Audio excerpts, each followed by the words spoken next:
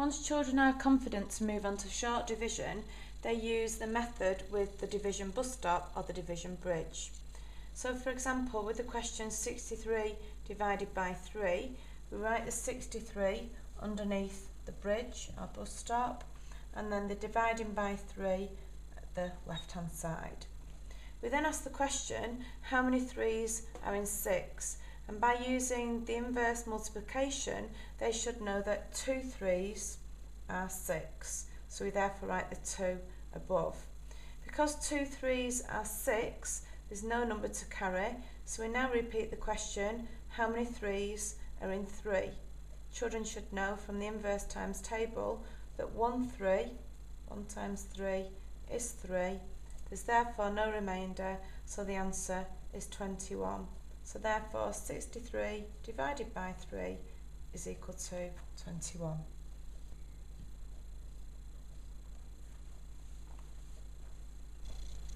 With the question 92 divided by 4, we write the 92 underneath the bridge and the divide by 4 to the left of the bridge.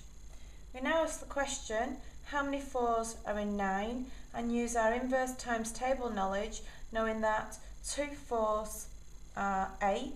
Because we've got 9, we're going to have to carry it 1 because 9 take 8 is 1. So we carry 1. We now ask the question, how many fours are in 12? Children again should know that 3 fours, 3 times 4 is 12. There's therefore nothing to carry, therefore this is the final answer, 23. So that 92 divided by 4 is equal to 23.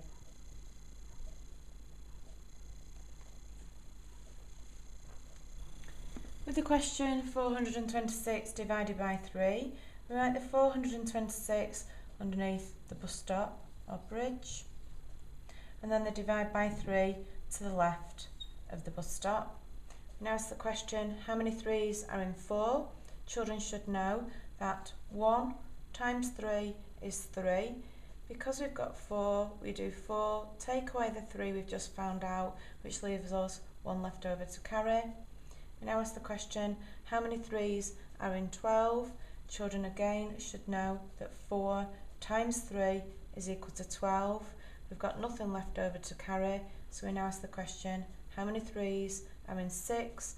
Again, children should know that 2 times 3 is 6, so there's nothing left over as a remainder.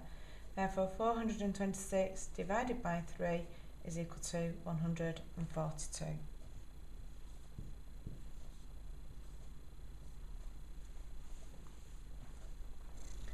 With the question 512 divided by 4, we write the 512 underneath the bridge or bus stop and the divide by 4 to the left of the bridge. We now ask the question, how many 4s are in 5? Children should know that 1 times 4 is 4. Because we've got 5, we now do 5, take away 4 and have 1 left over to carry. Now ask the question, how many 4s are in 11?